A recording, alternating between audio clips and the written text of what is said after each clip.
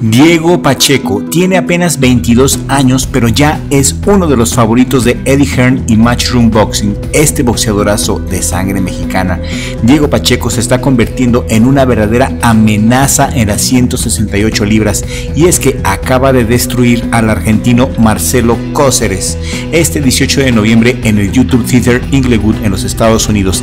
El argentino Marcelo Esteban Cóceres hizo un trabajo decente, pero sus esfuerzos fueron totalmente en vano ante un Diego Pacheco que le costó trabajo entrar en ritmo al principio, pero una vez entrado Pacheco le pegó una buena zarandeada de golpes al argentino. Tan fue así que para el round 9 noqueó de una manera espectacular al boxeador argentino. Diego Pacheco con esta exhibición a mí en lo personal me deja muy claro que ya está para cosas interesantes, ya está listo este pastel. Es un muchacho con buena técnica que en el pasado tuvo sus problemas de técnica y tuvo sus problemas de manejar sus distancias, sobre todo en la media distancias, porque como verás este joven tiene los brazos muy largos, pero hoy en día cambió el parado y el manejo de las distancias las domina perfectamente. Se le nota que ha tenido un progreso muy significativo, porque en esta pelea concretamente lo vimos reajustando muy bien sus posiciones en varias ocasiones de una manera que antes no lo estaba haciendo. Y ahí sí hay que reconocer el trabajo de su entrenador, porque eso es pura técnica y requiere muchas horas de trabajo. A mí en lo personal sí me llenó el ojo la actuación de este campeón.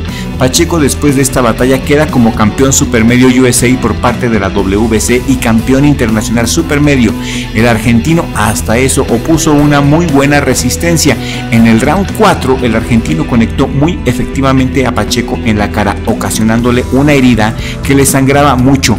En el round 7 le cortaron el labio a Pacheco secundario a un fuerte cabezazo que a mi gusto fue totalmente intencional por parte del argentino. Ese cabezazo se vio muy mala leche de Marcelo Cóceres, muy mala leche con ese cabezazo. Pero al final las cosas se pusieron en su lugar y Diego Pacheco le dio la vuelta. Cóceres fue a la lona y noqueado en el round 9. Marcelo Cóceres tiene un récord de 32 peleas ganadas, 18 de ellas por nocaut, 6 peleas perdidas, 2 de ellas por nocaut, incluyendo esta de Pacheco. Tiene una efectividad noqueadora del 56.25%, un alcance largo de 1,75 metros, es un peleador alto, mide 1,82 metros y en la clasificación internacional ocupa el lugar número 69 de 1.433 boxeadores en el peso supermedio. Diego Pacheco ocupa el lugar número 15 en la clasificación mundial de los pesos supermedio y tiene un récord de 20 peleas ganadas, 17 de ellas por nocaut y está invicto. Es muy alto, mide 1,93 y tiene un impresionante alcance de más de 2 metros. Sus brazos tan largos son la clave de su éxito. Sin embargo, le encontramos de defecto que la distancia corta se le complica bastante y no tiene un buen contragolpe. Pacheco es un fajador que te puede hacer mucho daño en la distancia larga, la cual es su especialidad. Diego Pacheco no te dejará acercarte a él porque usa ese par de enormes brazos como si fueran lanzas. Aparte de un cruzado de derecha muy potente, también domina muy bien el gancho al hígado y lo ha sabido sacar cuando es necesario. Pacheco es un peleador que pega muy duro y que te agobia con una presión constante, no te deja acomodar. Y en cambio, si es un peleador que se sabe reacomodar a sí mismo, reacomoda muy bien su posición y repito, el terrible alcance de más de 2 metros es su arma principal, pero este alcance tan largo también puede ser una desventaja. A Pacheco, si lo acorralan y lo presionan y le pegan al cuerpo, es posible ganarle. Ya domina muy bien la distancia larga y la distancia media. La distancia larga es su distancia natural, no tiene que haber un problema, pero en la pelea de cuerpo a cuerpo, en la distancia corta, ahí todavía tiene un faltante. Un buen fajador lo pondría en problemas, mi querida audiencia. En este momento a Pacheco no lo pondría a pelear con Canelo, pero sí me gustaría verlo enfrentar a rivales algo más difíciles de lo que le tienen preparado. Por ejemplo, a David Morrell o a Jaime Munguía, antes de ponerlos con un Canelo o con un Benavides. Eso, claro está, en un mundo perfecto pero le tienen preparada, pero le tienen preparada otra cosa muy distinta a Pacheco. Al parecer los altos mandos aún no lo quieren enfrentar con gallos de alto nivel como el Canelo, como Morrell. Eddie Hearn cree que es mejor seguir fogueando a este invicto, lo cual pues no me parece mala idea. Así que el futuro de Diego Pacheco vendrá en estos boxeadores según fuentes que son muy confiables. Bektemir Melikosiev, quien está por terminar su suspensión por problemas con doping, es de Uzbekistán, tiene 27 años y está en el lugar número 14 de los supermedianos. Eric Basayan, de 28 años, canadiense, y está en el lugar número 16 de la clasificación internacional. Su récord profesional es de 31 peleas ganadas, 22 de ellas por nocaut. Está invicto y es muy peligroso. Tiene una derecha muy sólida, de piedra.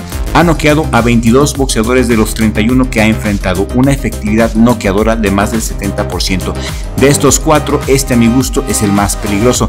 También tenemos al irlandés Padraig McCrory, un peleador muy bravo, invicto, pero ya tiene 38 años, ya está viejo. Y tenemos también Ali Akhmedov de Kazajstán, que ha estado inactivo casi un año y yo no creo que lo reactiven con Diego Pacheco. Estos son los planes de Eddie Hearn para Pacheco para este 2024. En lo personal, se me hace una pérdida de tiempo porque este boxeador ya está listo para una oportunidad grande y cada día emergen nuevos talentos. No la tiene nada fácil el Canelo. Ojalá que ya atienda la mandatoria con David Benavides y que se deje de cosas, hombre. Pero yo quiero leer tus comentarios aquí en la cajita de comentarios. ¿Conoces a este peleador? ¿Viste la pelea de Diego Pacheco contra el argentino? Es un boxeador interesante y vale la pena que le des un ojo si aún no lo has hecho. Tiene 22 años, nació en Estados Unidos, pero tiene sangre mexicana, pelea como mexicano, por eso saqué este video. A mí me gusta su estilo de boxeo y es de los boxeadores que no han tenido tanto reflector que nadie habla de él, pero que definitivamente en este 2024 puede ser una grata sorpresa.